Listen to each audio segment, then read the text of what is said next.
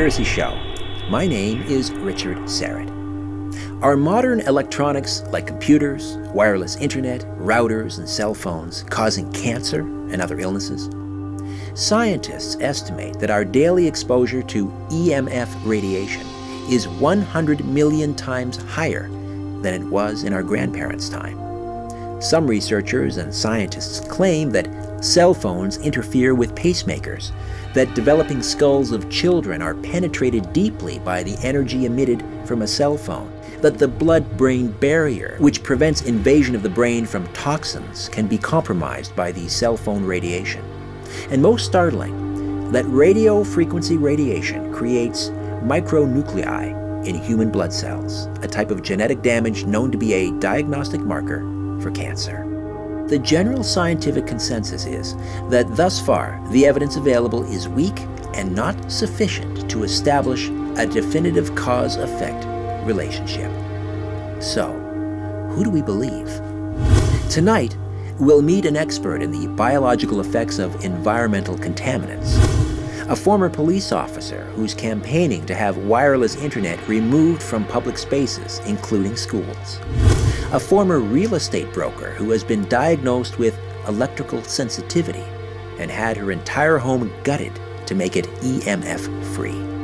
And of course, we'll hear from a skeptic, an expert in occupational and environmental health, who says that the people who claim EMF radiation is dangerous are engaging in hyperbolic pseudoscientific nonsense. Me?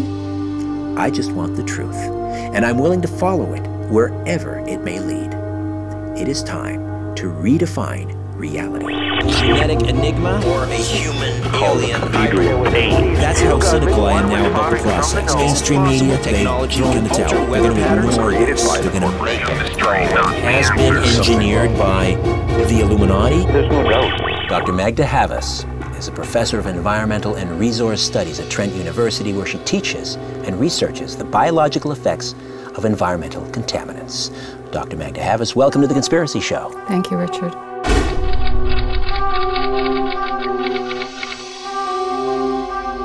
What is EMF? What does it stand for? EMF stands for electromagnetic fields, and that includes uh, radiation, that includes cell phones, cordless phones, wireless routers, all of the wireless technology we use. It includes electricity and power lines, the radiation that comes from your computers. It also includes things like sunlight, ultraviolet radiation, and even ionizing radiation, X-rays, uh, radon, that sort of thing. So it's ubiquitous. We're literally swimming in EMF. That's right. We're exposed to both natural sources and man-made sources. Are the man-made sources dangerous?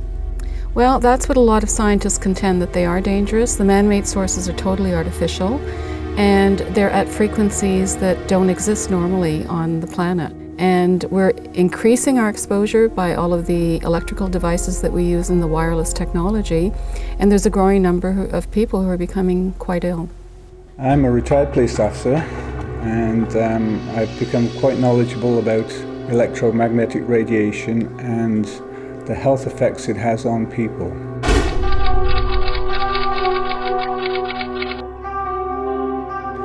I've been diagnosed with environmental sensitivities. The medical community has a great difficulty understanding this problem and they don't want to say for sure that it's electrical. Oops. It's a radio frequency meter and now normally that's you.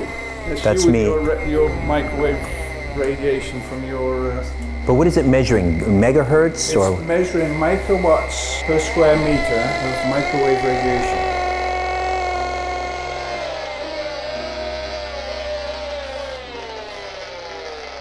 And that's the type of device that a lot of people have in their homes.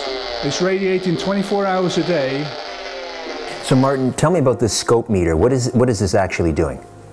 It's reading all this high frequency pollution that's actually riding on that wire. This is considered non-ionizing radiation, though, is it not? That's correct. So, I've always been led to believe that non-ionizing radiation is not harmful. Well, you just have to look at the scientific research and you find that there's so many biological effects from it that it is very harmful.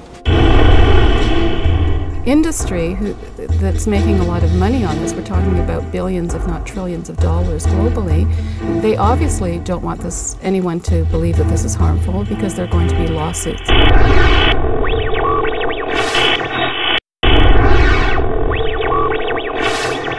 Where are the government officials that are supposed to be protecting us, uh, that are supposed to be setting the standards?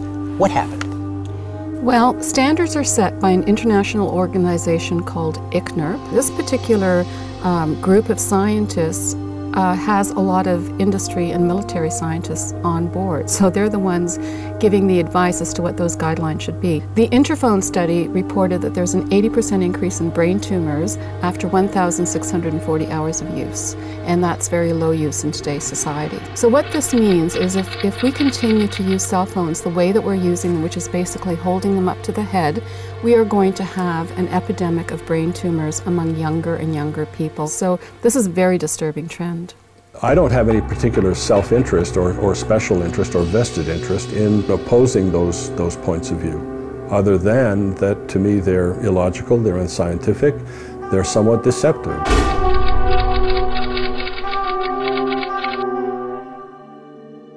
What is EMF? That's an interesting question. It's, it's actually one of the most fundamental things that people experience and encounter. Ionizing radiation is radiation that has sufficient energy inherently in each photon to create ions in the materials that it passes through.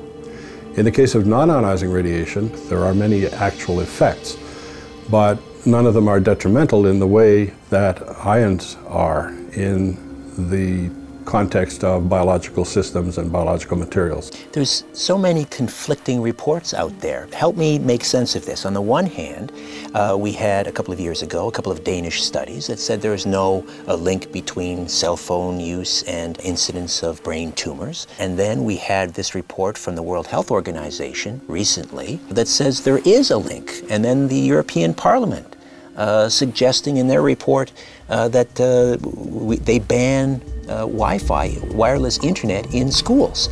What's going on? The problem is that if scientists come out and say that this is harmful, the government has to figure out how to deal with it because it's absolutely everywhere. The doctors uh, have great difficulty believing this. My, my first doctor, I took uh, uh, quite a lot of uh, scientific information with me, and I said, "This is what's happening to me, and uh, can you can you help me?" And uh, I don't think the doctor even looked at the information. I, she didn't want to, uh, to get involved. Industry who, that's making a lot of money on this, we're talking about billions, if not trillions of dollars globally, they obviously don't want this anyone to believe that this is harmful because there are going to be lawsuits. I think the industry uh, representatives um, or the industry funded studies are done with the best of intentions. There is a lot of scientific evidence that relates high frequency pollution, radio frequencies, electromagnetic fields with various different types of cancer. If it was just based on pure science, I think everything would be much clearer, but there's a lot of politics involved and there's a lot of economics involved as well, trying to show that this radiation isn't harmful. And indeed, many of the studies that are showing no harmful effect are funded by industry. So there's al already a preconceived bias uh, to show that the technology is safe. Dr. Havas, what would you say to the other doctors or researchers out there, scientists, who don't agree with you? Who might suggest to you you're being alarmist or paranoid. Well, you know, the same thing was said about Rachel Carson when she mentioned that DDT was killing wildlife. The same thing was mentioned about Selikoff when he talked about asbestos and how deadly it was. I mean, we have had these toxins over and over again from cigarettes to lead to, you know, a lot of them. And the people who say, excuse me, there's something wrong with this, we need to change, uh, are often classified as fearmongers. I would say she is looking at the same information that every scientist or every person who chooses to look sees. And uh, all I can say is that I disagree with the conclusions that she comes to. That, I, you know, that that states it fairly and bluntly. I think they just don't want to change for whatever reason, whether they want to continue using the technology or because they're making money off of the technology uh, or because their research it would contradict the research that they're doing and they have their egos at, at stake involved in this. Uh, there's all sorts of reasons why they might not agree with me. But if they read the science, it's so obvious that this radiation is harmful. It comes from animal studies, it comes from human studies, that if we simply ignore this, it will be at our peril. I remember one night up in bed, I was having like these seizures in my head, like this electric type current, as if I was getting zapped by lightning or something. It was always in the same place, in the occipital area, and so I, I couldn't sleep. Like this.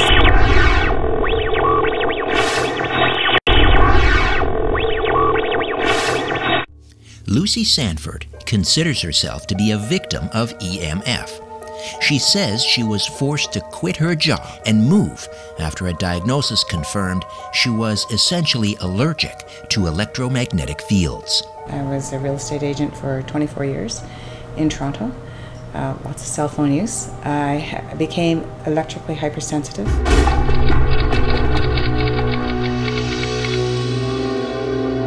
Took me a long time to know what was wrong with me. You know, I kept going to doctors with different complaints and and they kept saying, well, we can't find anything. You know, here's some, take some antidepressants. this radiation seems to affect our ability to think. A lot of them have headaches. Some of them have migraine headaches, uh, which just debilitates them completely. Headaches. When it would be like I was in a uh, sauna, I'd be sweating so badly. And it was all from the, uh, the, the effects of this radiation that was coming into the house. I think when it started for me, if I really try and think back to what it was, I was just I was really exhausted. Like I couldn't, hard to get out of bed, and it, it an overwhelming sensation of um, anxiety. Very often they have difficulty sleeping. That's one of the early symptoms. So they have a very restless night. I remember one night up in bed, I was having like these seizures in my head, like this electric type current, as if I was getting zapped by lightning or something. It was always in the same place, in the occipital area, and so I, I couldn't sleep. I could like this.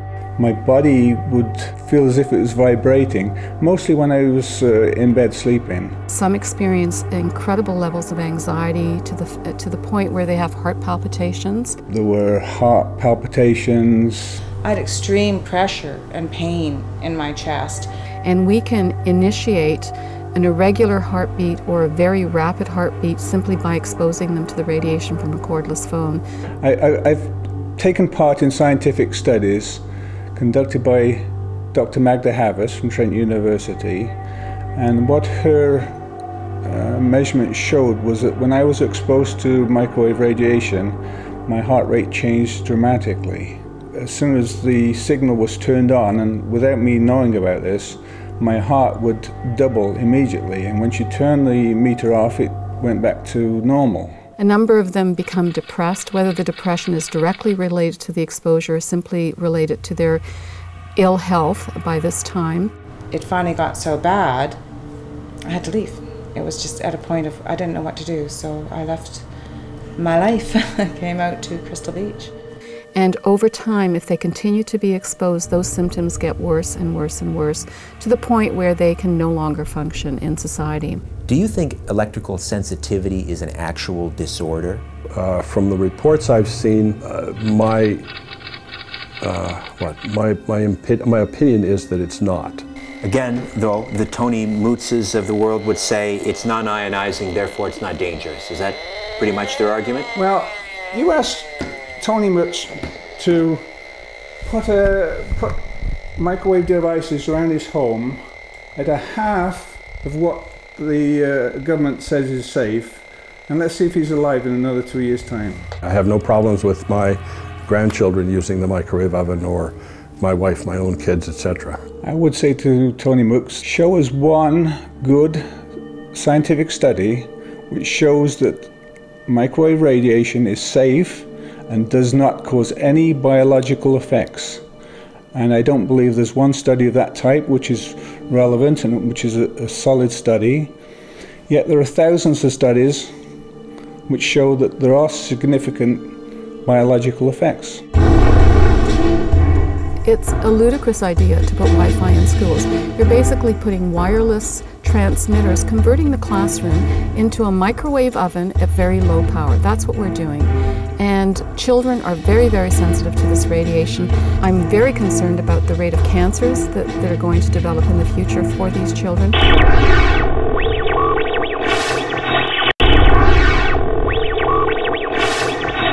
Even if I don't use a cell phone, I'm surrounded. I'm probably at any one time no further than several hundred meters from a cell phone tower. If I don't use a cell phone, am I still at risk? We are inundated with this radiation, so it makes little difference whether you use a cell phone or, or not. What that means is that if you're living in a high rise apartment building, if you're living in the middle of a city like Toronto, you are just bombarded with this radiation.